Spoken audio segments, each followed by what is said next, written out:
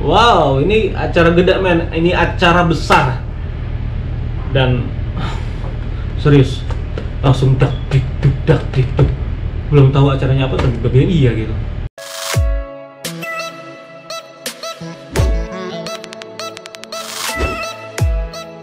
Ya jelas shock banget ketika itu saya ditelepon teman saya namanya Adam.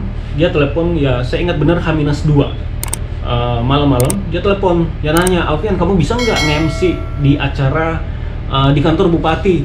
Nggak diinfo nih belum diinfo. Kantor bupati jam uh, pagi-pagi gitu. Sekitar jam 7 sampai siang. Aduh. Mikir ya oke iya iya. Bisa bisa bisa. Saya juga lagi off. Nah, namanya juga ya kan?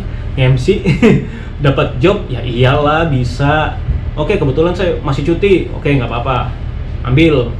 Terus saya nanya eh, awalnya pikiran saya itu ya paling acara-acara biasa seremonial biasa gitu kan kecil-kecilan eh, apa ya kayak skalanya kecil gitu skalanya timika.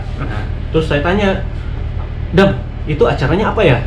Oh acaranya launching maskot pon 2020 Waduh, denger itu langsung wow.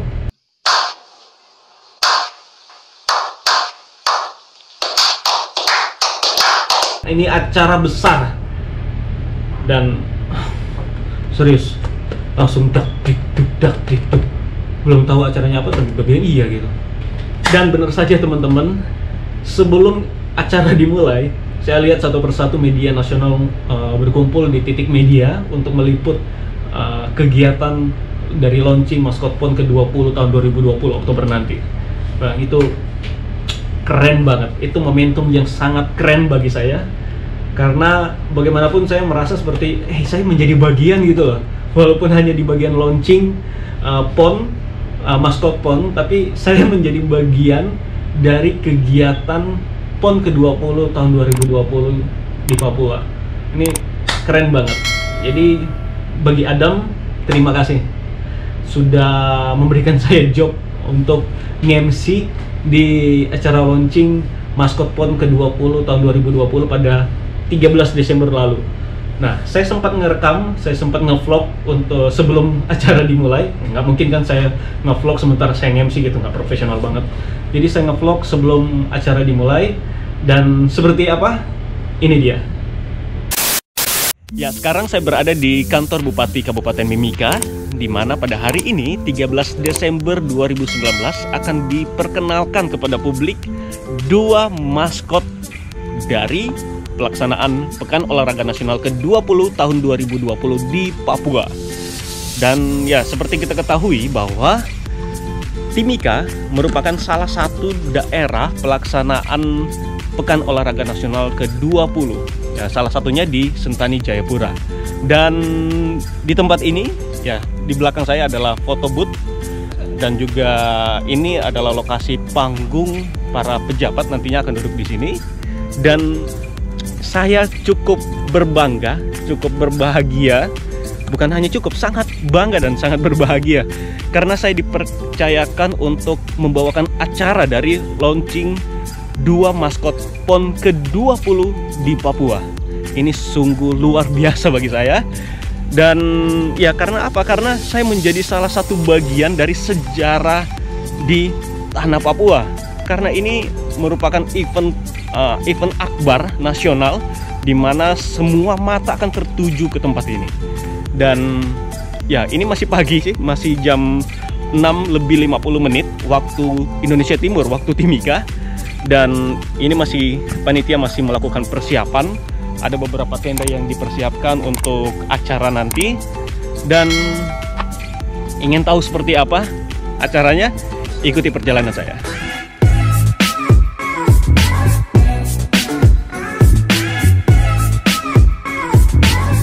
ya kalau teman-teman melihat rentetan pegunungan yang ada di sana ya bisa dilihat ya di situ merupakan lokasi dari puncak tertinggi di Indonesia, yaitu Kartens.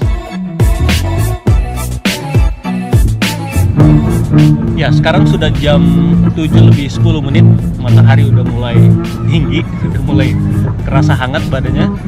Dan saya masih nunggu satu partner MC saya.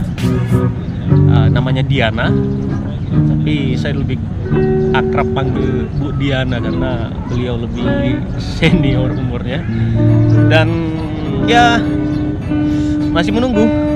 Karena uh, saya masih harus berbincang dengan petugas atau protokoler dari Bupati Kabupaten Mimika untuk bahas uh, tamunya siapa, kemudian melakukan finalisasi rundown untuk acara hari ini. Silau.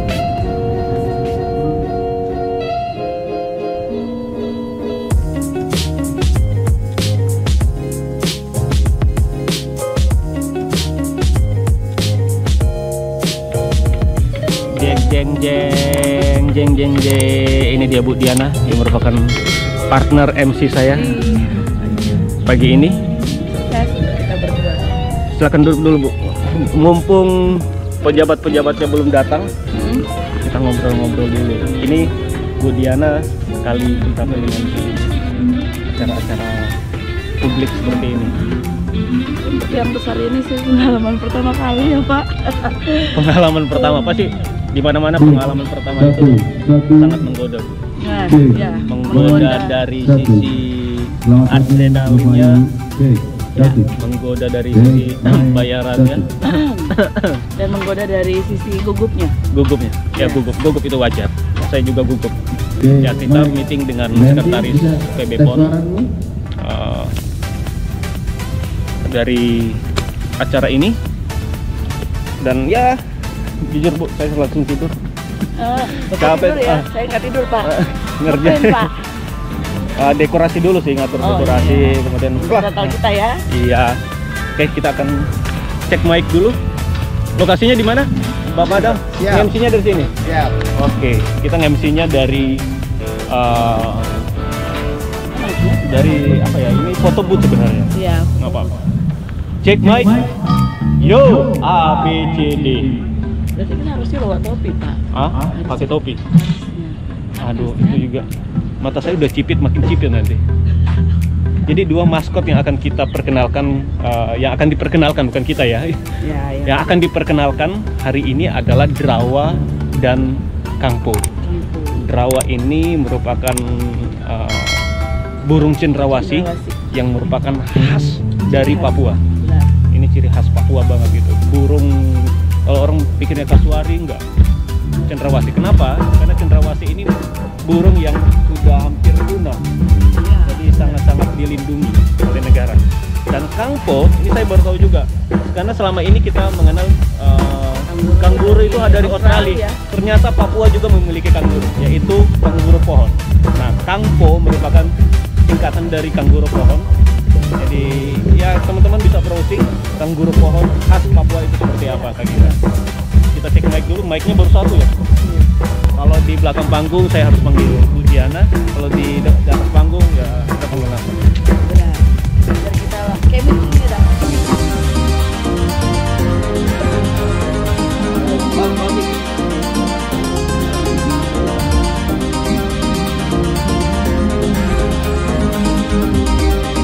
Ya, teman-teman ternyata di sini juga ada stand penjualan merchandise dari PON ke-20 tahun 2020 di Papua. Merchandise-nya berupa noken. Noken adalah tas khas orang Papua. Seperti yang saya pakai ini. Jadi noken itu biasanya yang asli itu dari akar pohon anggrek atau kulit kayu. Jadi benar-benar kuat.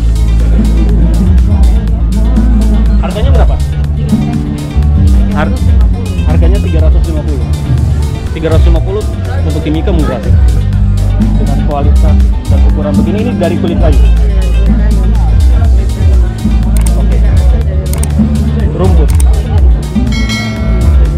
Oke, ini Kamoro. Yang ini dari pegunungan dan terbuat dari kulit pohon, kulit kayu.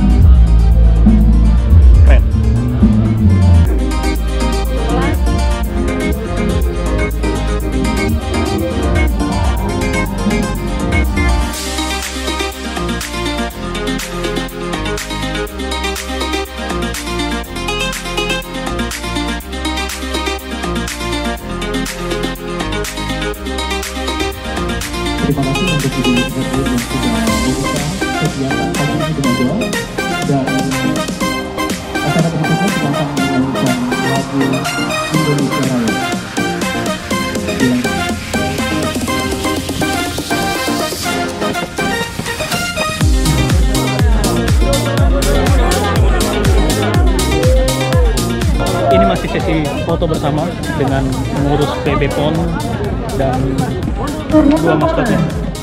Serius klip panas banget. Salam olahraga. Jaya. Papua. Merdeka.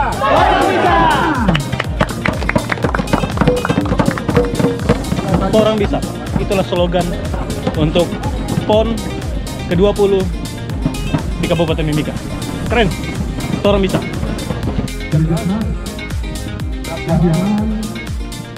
Ya, seperti saya sampaikan tadi bahwa tidak mungkin selama acara saya akan ngerekam, akan ngevlog.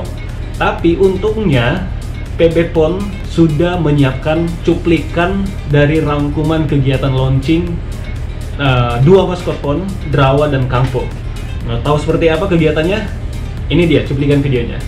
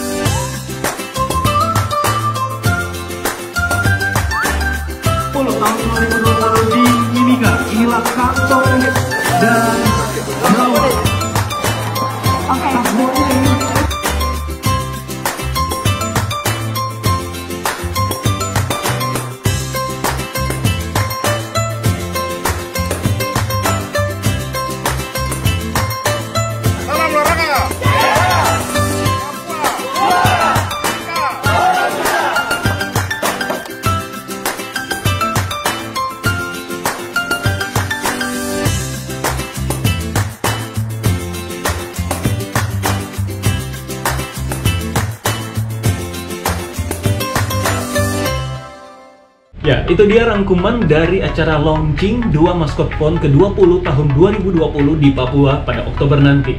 Dan bagi teman-teman yang belum subscribe channel saya, silakan subscribe sekarang juga karena subscribe itu gratis. Karena dengan Anda subscribe channel saya, berarti Anda sudah mendukung channel saya untuk terus berkembang dan Anda juga akan mendapatkan update dari video-video yang akan saya upload berikutnya. Oke, kalau begitu klik subscribe sekarang juga. Saya Alfian, sampai jumpa di video-video berikutnya.